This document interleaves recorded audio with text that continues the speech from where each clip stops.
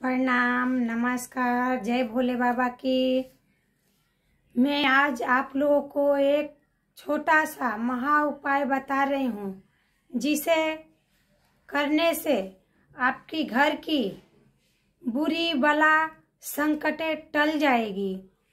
तो माताएँ, बहनें, भक्तजने, ये कार्य ज़रूर करें, रोज करें या न करें लेकिन ये आने वाली महापूर्णिमा 16 तारीख को आप लोग मात्र एक दिया बना लीजिए आटे की और उसमें चार मुखी दीपक जलाना है। एक ही आटे की दीपक में चार मुखी दीपक करके उसको जलाना है।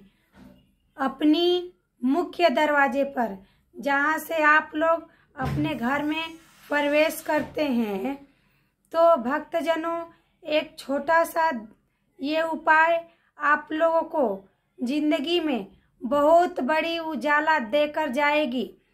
तो भक्तजनों, ये उपाय ज़रूर करें।